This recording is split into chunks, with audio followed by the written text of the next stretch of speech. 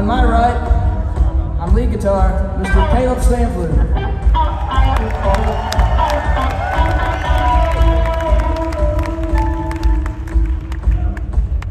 On my left, holding down the bass from, uh, from Illinois, Mr. Nate Johnson.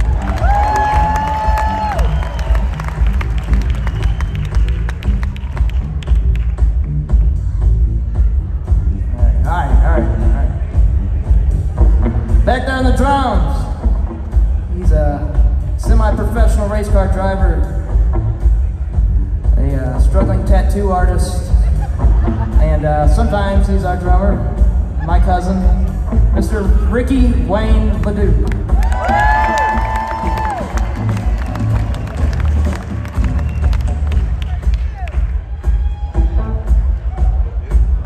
Thank you all for uh, listening again. Blackberry.